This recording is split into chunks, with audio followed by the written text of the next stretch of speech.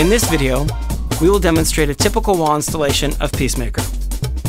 Peacemaker is applied directly over wood or metal studs in single or multiple layers, followed by typical drywall installation directly on top.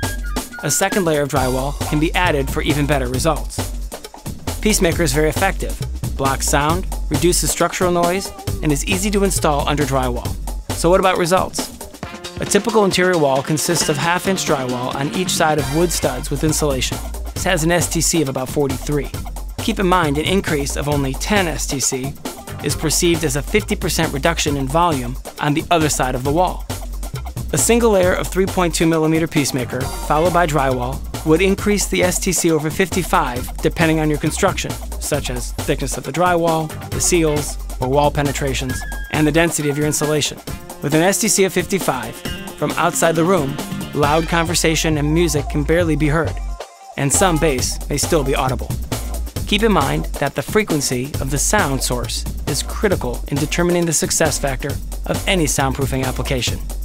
Because low frequencies require higher STCs, repeating the wall layering process may sometimes be necessary. Some prefer to install Peacemaker barrier over an existing wall and leave it exposed as the finished wall surface. This method does work, however our material is not intended to be the finished wall surface. Peacemaker is most effective when sandwiched in between two rigid structures, like drywall. Peacemaker sound insulation offers great sound blocking and vibration dampening results in walls, floors, and ceilings. To learn more about Peacemaker, give us a call or visit us online at audimutesoundproofing.com.